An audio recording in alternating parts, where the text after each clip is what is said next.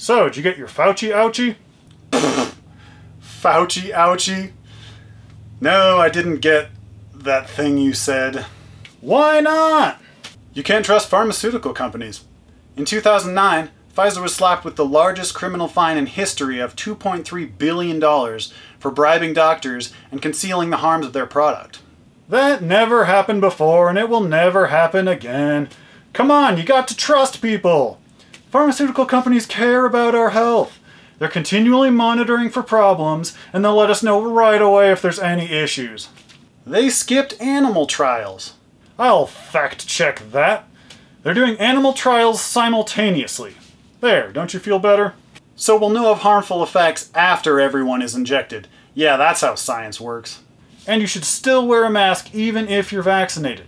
Studies have shown masks do almost nothing, other than cause bacterial pneumonia.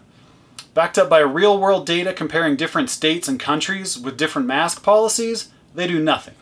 Well, I'm wearing one for the rest of my life because I don't want anyone to think I'm a Republican. Now that's science.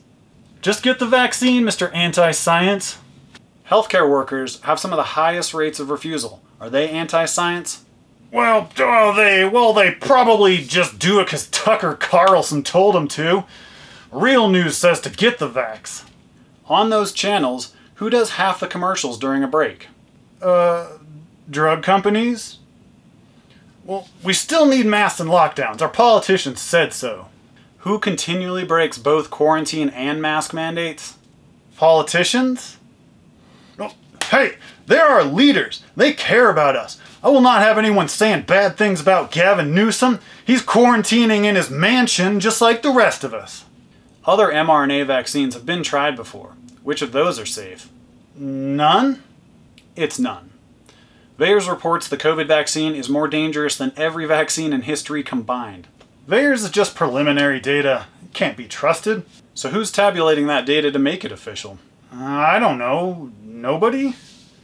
Look, I don't have time to research and learn, okay? Anyways, COVID is super dangerous because it has variants. All viruses mutate. Any honest person knew on day one the vaccine would quickly stop working.